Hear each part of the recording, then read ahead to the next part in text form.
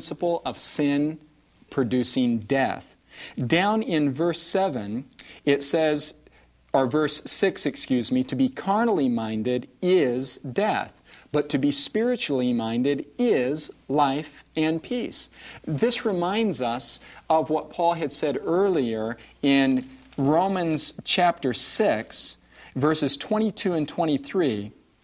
Verse 22 reads, But now, being made free from sin and become servants to God, Ye have your fruit unto holiness, and the end everlasting life. And verse 23 For the wages of sin is death, but the gift of God is eternal life through Jesus Christ our Lord. Friends, it's very clear here that it is God's will that we would have eternal life. This is the gift that He wants to give us as the fruit of holiness. But the wages of sin is death. There is no other option. If we persist in holding on to sin, then sin eventually will work our ruin. Exactly. In other words, it is the result, it is the reward that is death. It is the ultimate consequence mm-hmm. of sin, whereas the ultimate consequence or reward of holiness is everlasting life. And we see the same truth brought forth, Ty, in Romans chapter 2. In Romans 2, Paul, again, is in the context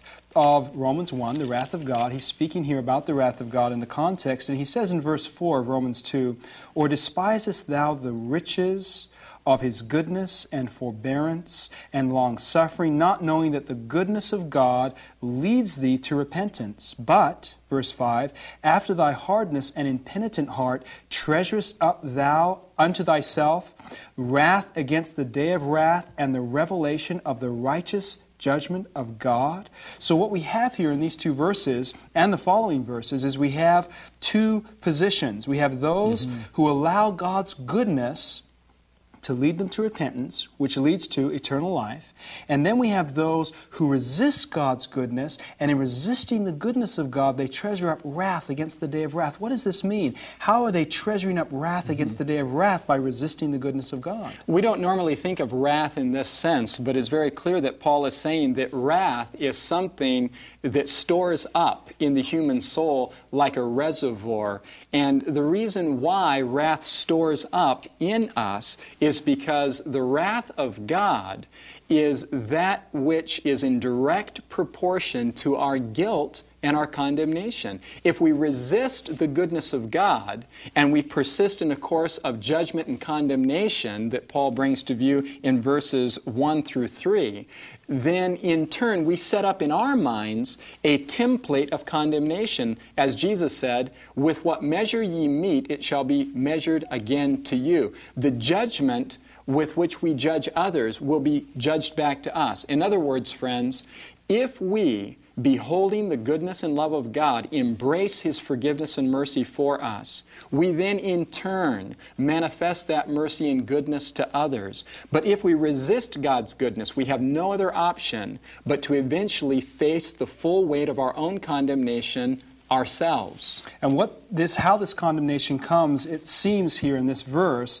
is through a revelation of the mm-hmm. righteous judgment of God. In other words, God is going to reveal to each one a revelation of his goodness through the entire life, beginning to end. Mm-hmm. God is going to reveal how he has worked on the human heart, how he has worked in the life of each individual, how he sought, how he has drawn, how he has given his son to die for that person. And as we look on to the goodness of God and we realize our course of action in contrast to that goodness, it brings wrath, it brings condemnation, it brings the fire, the coals of fire. Let's look at another verse, Ty, that really speaks to this. It's in Romans again, Romans chapter 12, and it begins here in Romans 12 with verse 19.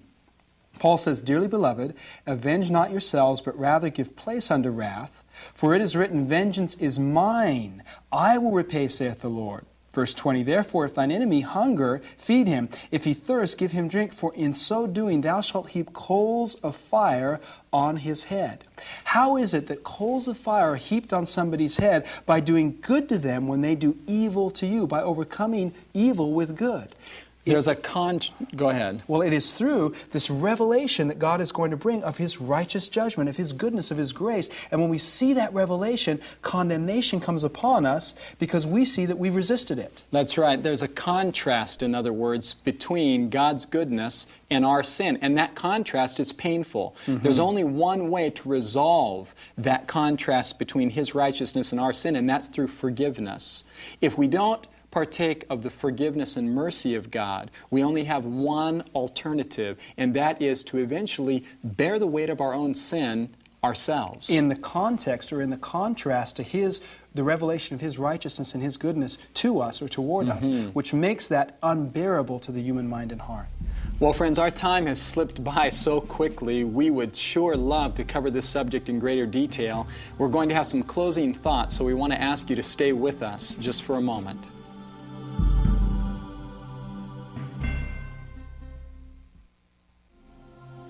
It was over 12 years ago. I was traveling the countryside of Norway when I was given tapes of Ty preaching. Well, they proved to be such a blessing. And I'm so glad that you can have the blessing right in your own home.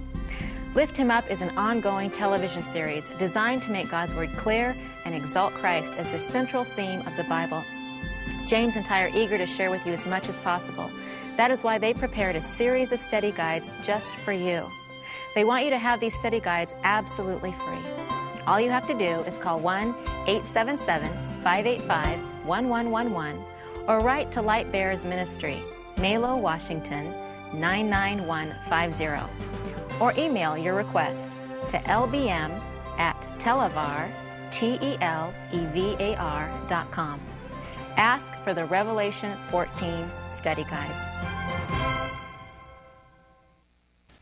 So, what we find here, friends, is the wrath of God is different from the wrath of man. We see God's wrath defined in Romans chapter 1, where He gives up the wicked. He gives up the lost to those things that they cling to, to those things that they've chosen, to those things that they refuse to let go of. Revelation chapter 16 reveals the same truth. In other words, those who receive the mark of the beast and refuse to walk in the light of the truth, who refuse to follow God and the everlasting gospel, God finally, reluctantly, not taking pleasure in their destruction, gives them up to those things that lead to death. Anything that has, is out of harmony with God, that is out of harmony with the truth of God's Word, leads to death and not to life. And mm-hmm. God reluctantly acknowledges our choice. He gives us freedom of choice, and He will not violate that freedom of choice. There's a powerful scripture, James, that we could share in closing in Proverbs chapter 8, verses 35 and 36. These words are so clear For whoso findeth me findeth life, and shall obtain favor of the Lord. But he that sinneth against me wrongs his own soul. All they that hate me love death. So there it is, friends. In those, those few lines, in the, that verse right there in Proverbs, we find the clue that, that unlocks for us an understanding of the wrath of God. God is long suffering usward. He's not willing that any would perish, but that all would come to repentance. And He reveals to us His goodness time and time again. The waves of His goodness wash over us. But as we resist that goodness, someday our covenant with the grave is going to be disannulled and we're going to awake to face a divine revelation of God's goodness, a revelation that we can't hide from. And that revelation is going to overwhelm us with condemnation and guilt. It's going to crush out our life. It's going to be like coals of fire heaped upon our heads, mm-hmm. and we're not going to be able to stand in that revelation. Friends, the goodness of God must be our focus at this time as probation lingers and God, through His Spirit, calls to our hearts. The final end of the wicked need not be our end. There's refuge in Jesus Christ, and the gift of eternal life is freely offered. And that's why we want you to continue to study the Word of God and continue to understand His love for mm-hmm. you, especially as we near the close of this earth's history. God bless you until next time.